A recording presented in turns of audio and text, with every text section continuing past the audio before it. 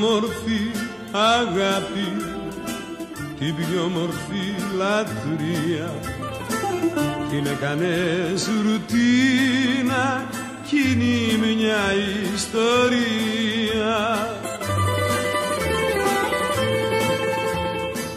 Την πέταξες στη λάσπη την πέταξες στο δρόμο και με κάνες να κλαίω σαν το παιδί με πόνο σαν το παιδί με πόνο.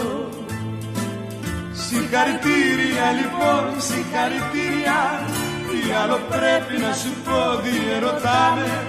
Συγχαρητήρια λοιπόν, συγχαρητήρια Αλλά το τέλος σου ποιο θα είναι, σε λυπάμαι Το τέλος σου ποιο θα είναι.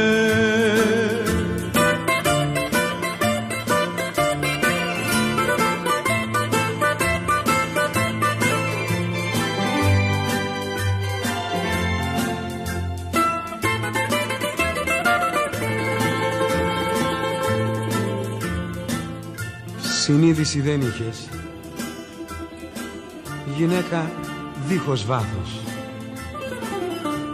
Δεν το είχα καταλάβει. Και μου είχες γίνει πάθος.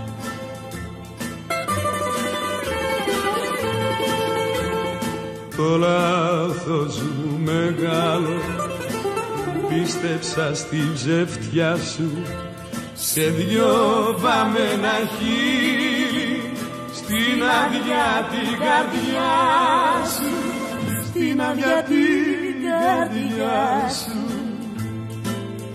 Συγχαρητήρια λοιπόν, συγχαρητήρια. Τι άλλο πρέπει να σου πω, διερωτάμε. Συγχαρητήρια λοιπόν, συγχαρητήρια. Αλλά το τέλος σου ποιο θα είναι, σε λυπάμαι. Το τέλος σου ποιο θα είναι